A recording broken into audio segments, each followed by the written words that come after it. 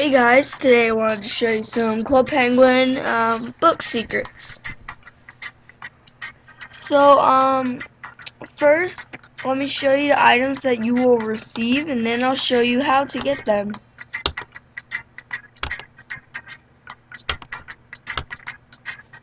You will receive this item, and I will show you how. I'll show you how right now.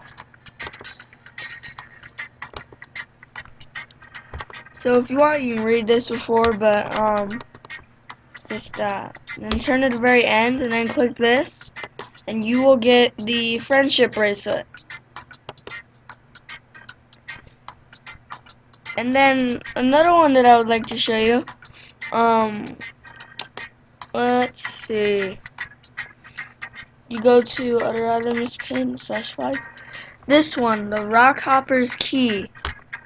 See, it's a pin, and um, to get it, you need to go to here. You need to go to the journal, Captain Rockhopper.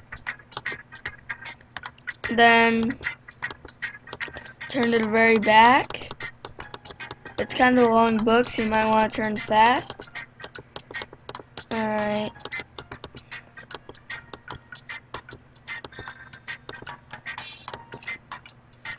And um, here it is. And when you click this, you will get the Captain Rockhopper's key.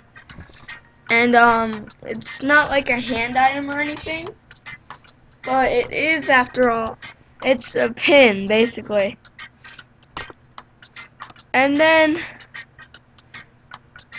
I have not, I don't think there's any other secrets to find so far. But, um, like I showed you in my other video, there's this collectible pin in the book room. So, yeah. Thank you guys for watching.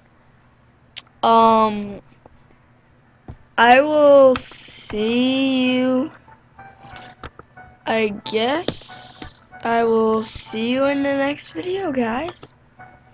Thank you for watching. Make sure to like this video and subscribe to my channel. And so, yeah, to subscribe, just go to the um, info in the video, and where it's made by, click that, and then go, and then when you're in my profile, just click subscribe, and go to the video info, then click like, so I can make and make sure to subscribe for more videos, and like for more videos. And I will see you all later.